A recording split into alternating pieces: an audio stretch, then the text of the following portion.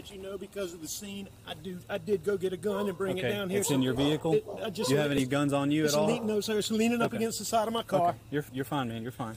Turn around for me. I don't have any. Okay. Yes, sir. I see that. Okay.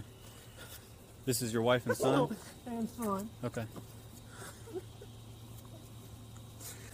It's bad. Check the pulses. Yes, sir.